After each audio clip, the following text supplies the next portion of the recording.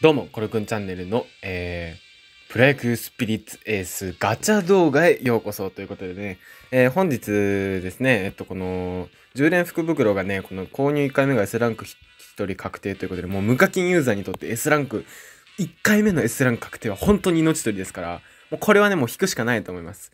まあ、今回、ショートが追加になったってことで、まあ、坂本勇人選手が、自分はあの、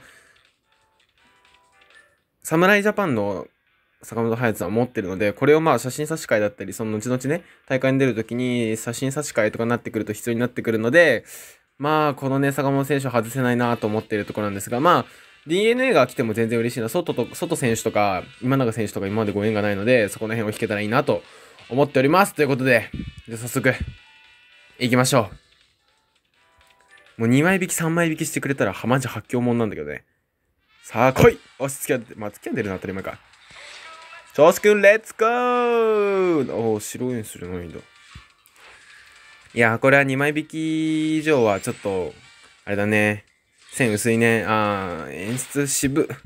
演出渋いバットには当たらないね。ってことで、飛んで、あ、笑いもしない？怖い怖い。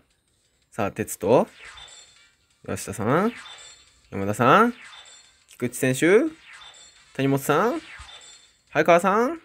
はい、ここで、あー、来ないね。足回内選手持ってるな、今。A ランク今育成中だ。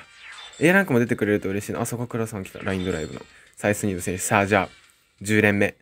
10連目じゃない。10個目。10体目。誰？ほいおー、増田さん、いいね。悪くないっすね。はい、ということで、ご視聴ありがとうございました。これからもプロスピ、頑張っていきます。